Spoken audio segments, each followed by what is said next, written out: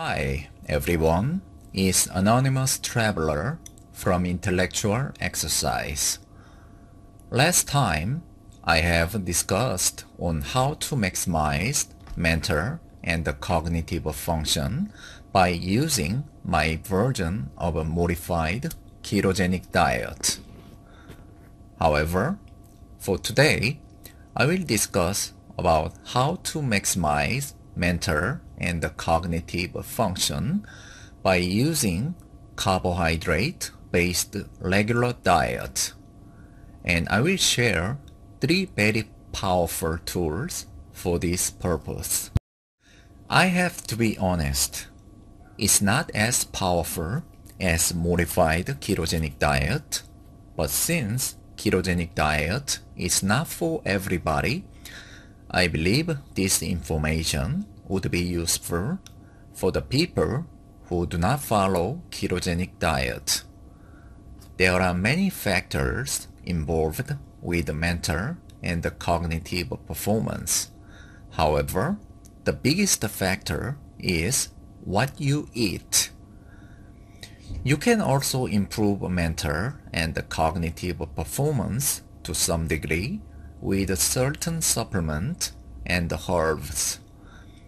I will discuss some of the supplement and herbs that are beneficial for mental performance in the future videos. Anyway, like 99% of general public, when carbohydrate is your energy source, your mental and cognitive performance depends on steady and even supply of glucose. However, if we look into most people's glucose level on hourly basis, it's fluctuating all the time. It spikes up very high right after each meal or snack and then falls onto the bottom only after few hours. No wonder many of us have to depend on coffee or energy drink multiple times throughout the day just to perform reasonably at their job. If you want to bring your mental performance at its best, you need to do your part. And your part is to provide your body with long-lasting steady supply of glucose. Every form of carbohydrate break down into glucose and that's what we use as energy source as long as we don't follow ketogenic diet. Like many people know already, in order to provide long-lasting steady supply of glucose, one need to eat low glycemic index complex carbohydrate. Since many people know this already, I will mention this very briefly.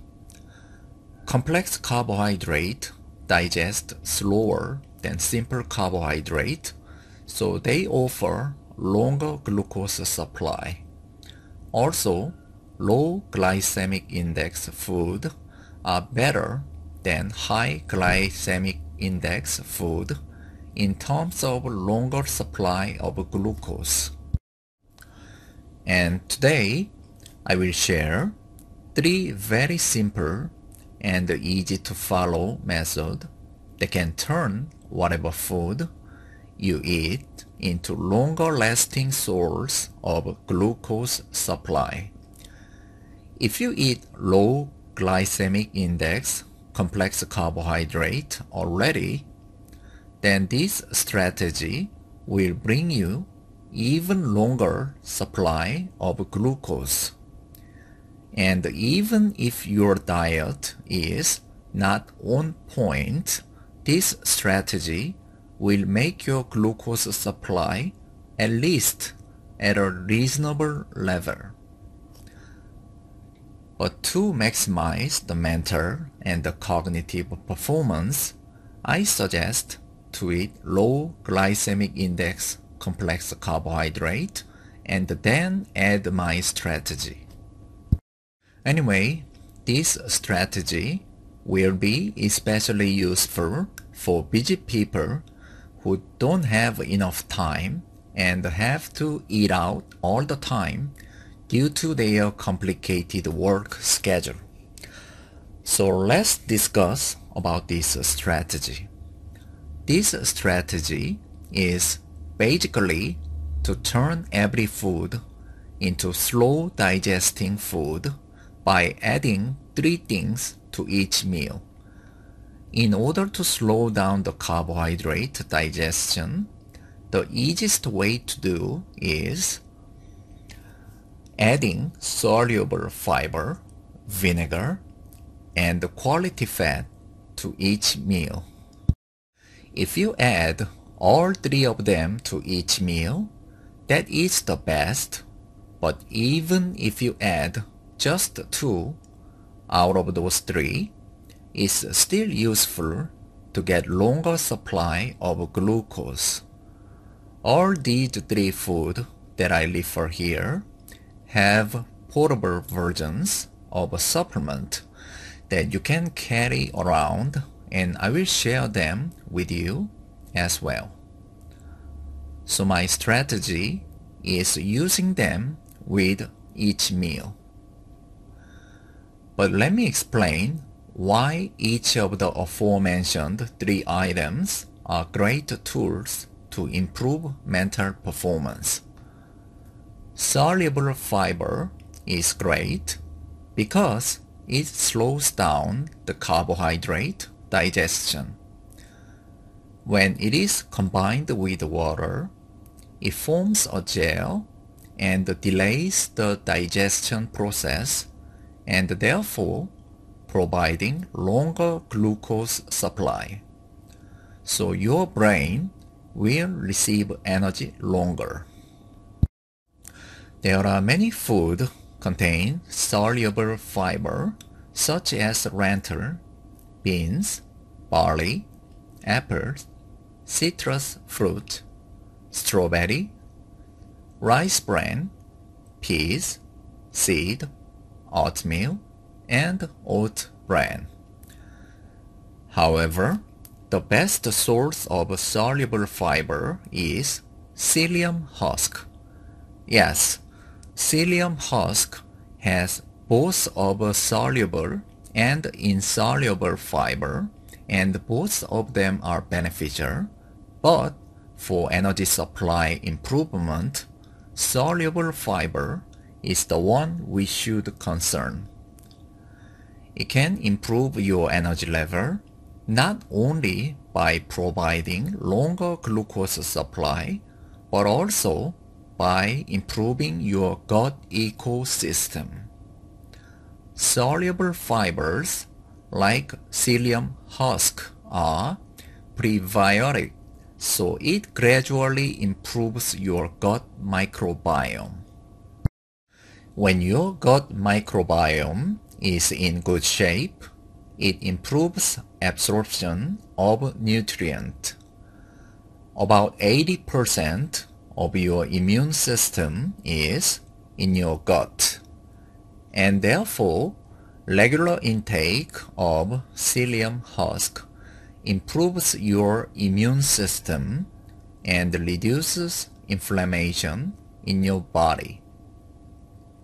Also, psyllium husk can lower blood pressure and improve lipid levels. And it helps with regularity. So it is the best source of soluble fiber in terms of energy supply improvement and overall health. It also makes you feel fuller, so it's good for diet if you want to lose weight. But psyllium husk is not easy to eat. Most people hate its texture and taste. So they are selling it with added flavors with additional process. However, it's much better to take 100% pure psyllium husk So what I recommend is psyllium husk in capsule. It is 100% pure psyllium husk and you don't need to mix it with water. You can just swallow multiple capsules with a glass of water. And since it is capsule, you can just carry them wherever you go. I will share a link to the psyllium husk capsule that I personally use. It is also non-GMO and safe to use. But make sure you start with low dose since it has the ability to swell up to 50 times its initial volume when added to liquid and could be uncomfortable when you take it too much at once. Now let's move on to the second item, vinegar. Vinegar prolongs the glucose supply by interrupting the activities of carbohydrate-related digestive enzymes. So, when you add vinegar to your meal, you will get longer supply of glucose for energy. It has other health benefits as well, such as killing harmful pathogens and improving insulin sensitivity. It also prevents sudden blood sugar spike after eating high glycemic index food. And out of all the vinegars, apple cider vinegar is the best for overall health. The best apple cider vinegar is organic, unfiltered, liquid apple cider vinegar, which contains strength of protein, enzymes, and beneficial bacteria. So if you eat at home, you can use it with each meal. But if you have to eat out or if you just cannot handle vinegar due to its taste, you can use capsules. It's not as powerful as liquid version, but still great for getting prolonged glucose supply after each meal. I will share links to both of liquid apple cider vinegar and its capsule version. Now, let's move on to the third item, quality fat. When you eat carbohydrate with good amount of fat, carbohydrate digestion slows down due to the delayed gastric emptying process. Carbohydrate with low-fat meal will cause blood sugar spike within one hour, followed by sudden drop within an hour or two, but carbohydrate with high-fat meal offer up to 4 hours of a steady glucose supply. Also, certain type of fats can offer additional health benefits as well. The healthiest fats are olive oil, macadamia nut oil, avocado oil, coconut oil, grass-fed ghee, which is specially clarified butter. However, you cannot carry the fat with you to add to each meal when you eat out due to work schedule. In such cases, the best item to carry around is macadamia nut. Macadamia nut is also a great source of soluble fiber and anti-inflammatory omega-7 fatty acid. Macadamia nuts soluble fiber feed gut microbiome and thus improves our immune system and on top of that, it also provides good amount of anti-inflammatory omega-7 fatty acid and therefore reduce our baseline inflammation within our body. Like I discussed from my previous video, we are living in an era of chronic inflammation where pretty much nobody is safe from low-level chronic inflammation. Also, macadamia nut has the highest flavonoid content of all three nuts and therefore reduces inflammation and cholesterol. Also, it has high antioxidant and therefore beneficial in preventing heart disease and cellular damage. And around 80% of fat in macadamia nut is monounsaturated fat and therefore reduces cholesterol level, especially the bad cholesterol LDL level and the risk of heart disease and stroke. If we look into the nutrient profile of macadamia nut, it has 75% of quality fat and 8.6% of fiber and 8% of protein and the remaining small amount is carb. And for maximum brain performance, macadamia nut is one of the best food available for both of ketogenic dieters and non-ketogenic dieters. I will share two links to macadamia nut product.